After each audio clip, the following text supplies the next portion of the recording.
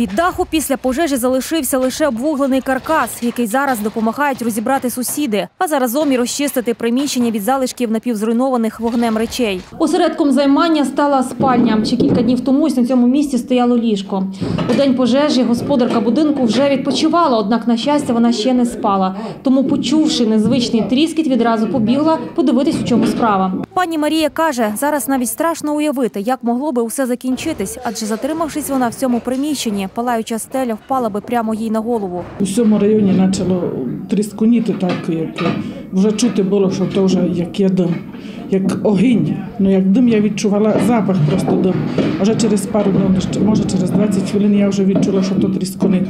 Я зразу побігла на двір, а там вже огінь був, дуже великий огінь був. От тоді я почала кричати, що мого Рима.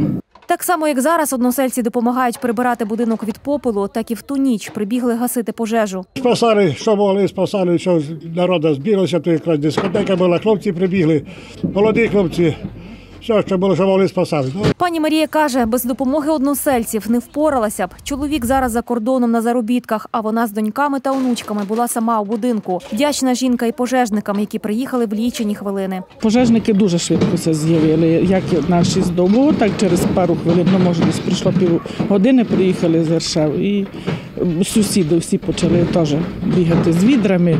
Тут у колодязь теж поклали насос, почали качати воду. В нас із дому почали брати воду.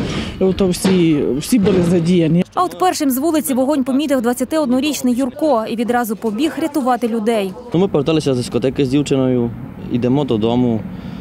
І я чую, щось тріщить. Кажу, я потім ще прислухався і, і кажу, що будинок горить.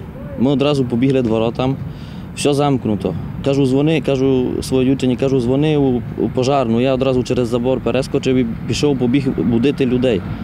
Кричу, кричу, люди повиходили, одну вже дим.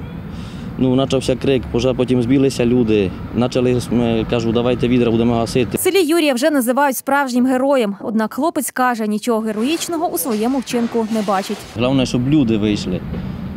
Ну, чувство страху взагалі якось не було, такий адреналін. Просто Бог знає, як би то закінчилося. Добре, головне, що людям нічого нема, що ми встигли. Що всі вийшли з будинку, і...